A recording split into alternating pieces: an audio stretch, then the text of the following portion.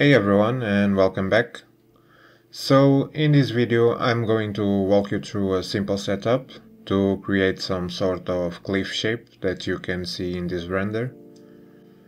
So this is the graph, we already covered most of the nodes before, so if you've been following along the Bifrost journey on this channel it will be easy to understand.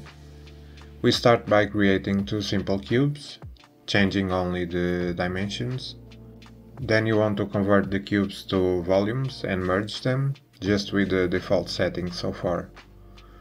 Now we scatter some points, only changing the amount and seed.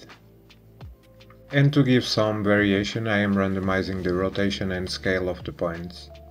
In the next step I am setting the instances to be just a scaled cube in the y-axis that's our main shape done. In the next step we want to convert it to a volume and for that we need to bake the instances. In this part I am just adding a slight advection to the volume to break a bit the pattern. Using a voxel field set to fog density and then an advect field with the turbulence node to create some noise in the volume. Then we need to convert back the field to a volume and in order to save some memory you want to add a bounding box cube to the graph. You can play with the values, mainly the intensity of the effect and also the frequency of the turbulence.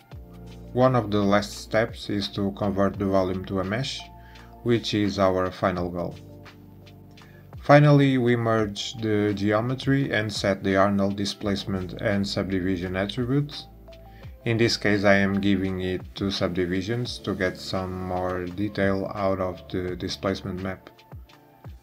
The very last step is just assigning the material, which in this case is a mixed shader, and also add the displacement shader to the respective port. You may also want to increase the resolution of the field to volume, so you can control the overall detail of the final mesh. Since we're setting everything inside the Bifrost graph, we need to use the triplanar node to apply the textures, since we don't have any UVs. I am just using a Megascans material and controlling the scale of all the triplanars with a float value node. As I want to add some grass to the top parts of the cliff, I am using a mix shader, with the first material being the rock surface and the second the grass material. Then to mix it you can use the triplanar node separating the axis and using only the Y. And that's basically it, really quick setup, I encourage you to try it yourself and add more layers of detail. You can download the scene from my Patreon and let me know if you found this helpful. These are just experiments I'm doing, hopefully you can take something from this. Thank you and see you next time.